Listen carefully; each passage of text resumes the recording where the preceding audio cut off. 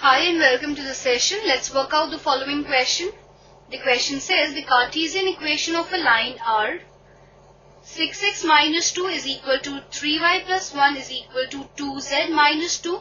Find A, the direction ratios of the line and B, the Cartesian and vector equations of the line parallel to this line and passing through the point 2 minus 1 minus 1. So let us see the solution to this question. The given line is 6x minus 2 is equal to 3y plus 1 is equal to 2z minus 2.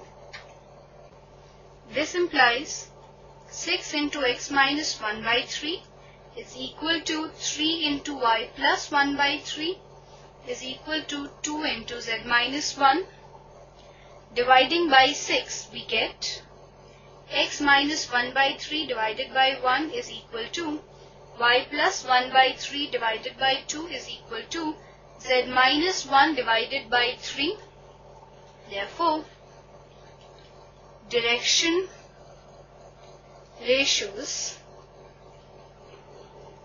of the line are 1, 2, 3. This is our answer to the A part. Now, Cartesian equation of a line through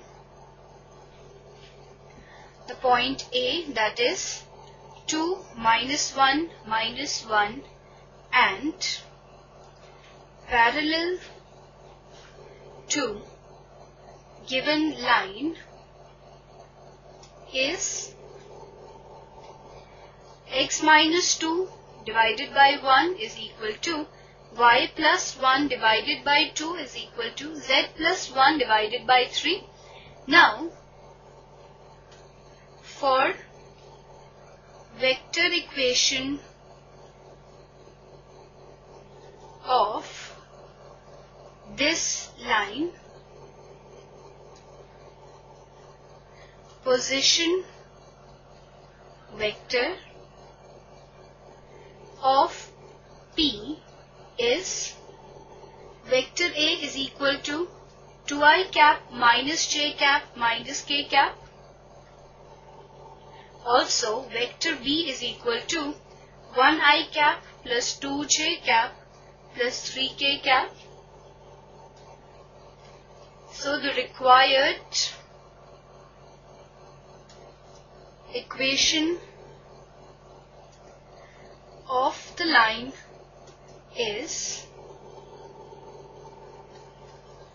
vector r is equal to vector a plus lambda times vector b.